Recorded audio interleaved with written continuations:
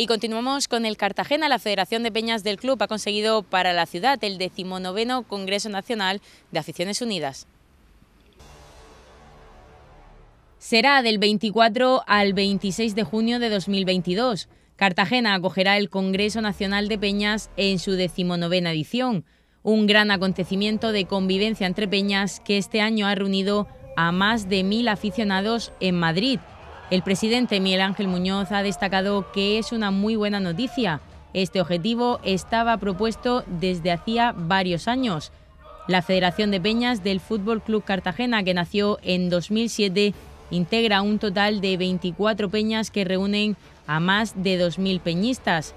Entre sus objetivos están la organización de desplazamiento de aficionados, el impulso a la creación de peñas en toda la comarca y la proyección de la imagen de Cartagena en las reuniones y viajes que realizan fuera del municipio.